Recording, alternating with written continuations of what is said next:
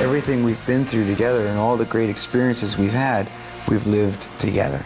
John Bon Jovi forged a five-man musical fraternity as fiercely loyal and combative as brothers.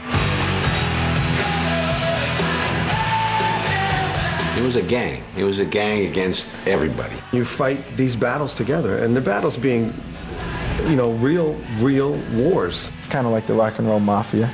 Once you're in, you can never leave.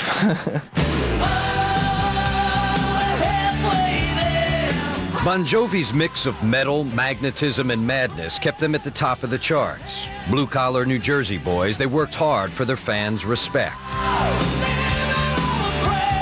You know, nobody could be from New Jersey and make a record except for Bruce Springsteen. But um, they were so good. To this day, I mean, they're one of the really one of the great rock bands in the world. Check this out.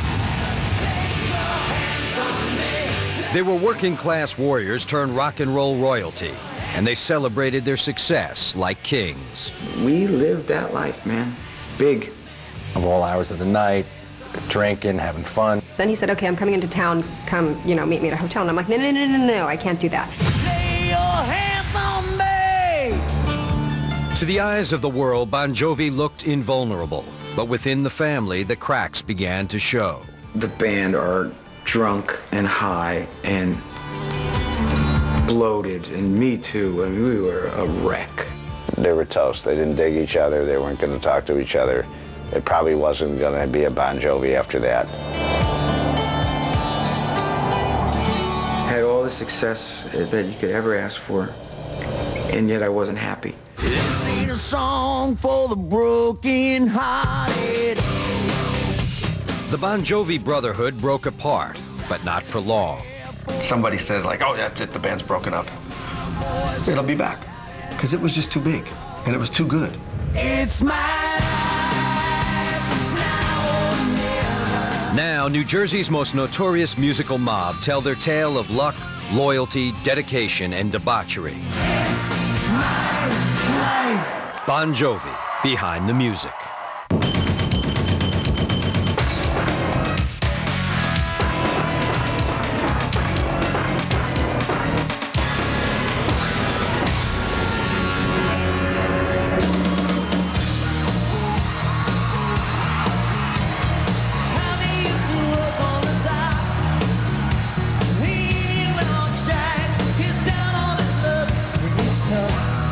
People that have grown up now that are that are leaders of industry or professional quarterbacks or guys in the White House that'll tell you how one of our songs influenced them, moved them, you know, did something for them. You go, wow, who knew?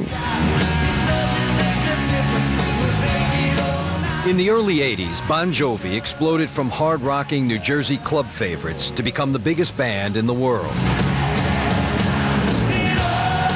The seed of Bon Jovi was the New Jersey street rock and roll, the Springsteen model. But John added this element of heavy metal bombast. Southside Johnny and Bruce Springsteen, the J. Geils band. That was the music that I related to. These were the characters I wanted to grow up to be. Five Italian kids from New Jersey. Exit 10. Have a bunch of hits. Go away for a while. Then they come back. Happy ending. Album sales topped 80 million, and every one went platinum. They charted 10 top 10 hits. Bon Jovi. Eight of them from 1986 to 1989. But Bon Jovi was always more than a band. They were family. These are guys who grew up, lived in the same city, hence there was a family, you know, Italian. This is like the Sopranos, for God's sakes. I wear this charm that's very, you know, close and meaningful to the organization. And when you get this, you're now part of the brotherhood. I've seen, you know, these grown men, these rough guys, get this medallion and cry. John was born on March 2, 1962, the eldest of three sons born to John and Carol Bon Jovi. John's family settled in Sayreville, New Jersey, a working-class town 30 miles south of New York City. Life in Sayreville taught John a valuable lesson. You kept family business within the family. Everyone knew everybody. Uh, you couldn't get away with much in that town because it would get around pretty quick. Still barely in his teens, John began jamming with several local bands and hanging out in the Asbury Park nightclubs that spawned legendary Jersey rockers like Bruce Springsteen and Southside Johnny. There was no mamby-pamby music. But if you really wanted to stick out, you really had to work hard on stage, and that's one of the lessons that we all learned, uh, Bruce and John and I, that if you didn't go up there to kick ass, you'd get your ass kicked. In 1979, John formed the Atlantic City Expressway. One of the first to audition was a 17-year-old high school kid, keyboard player David Bryan. John and I got introduced because he went to Sayreville High School and I went to J.P. Stevens over the bridge. The Expressway was a moderate hit with the Jersey locals, but it was John who commanded the spotlight. I remember Springsteen coming to one of his shows where he's playing at the Fast Lane in Asbury Park. I was 15, I'm going, you gotta be kidding me.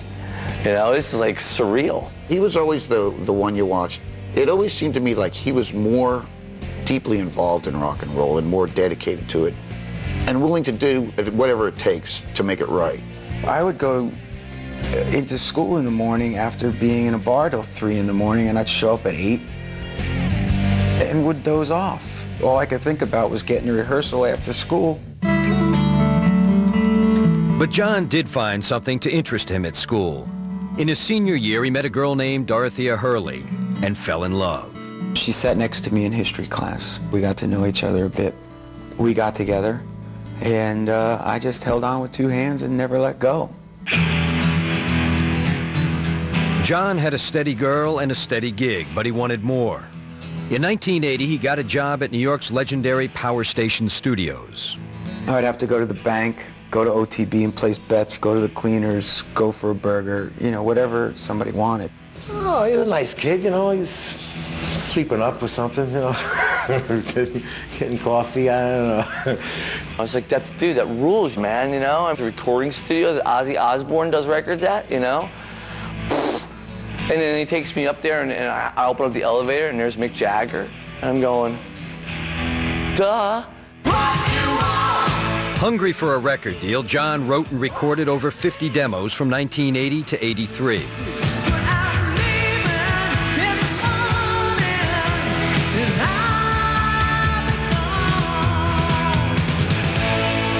Was never shy about self-promotion.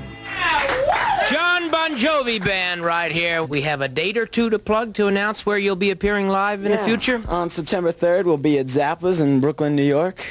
And uh, we'll be at the Fountain Casino coming shortly. And uh, check the Aquarian for more dates. In 82, John recorded a demo of a song he wrote called Runaway. Nothing came of it until I went to a radio station in New York called WAPP. At the time, WAPP was New York City's cutting-edge rock radio station. In 83, a DJ put Runaway on a station-sponsored album of local artists.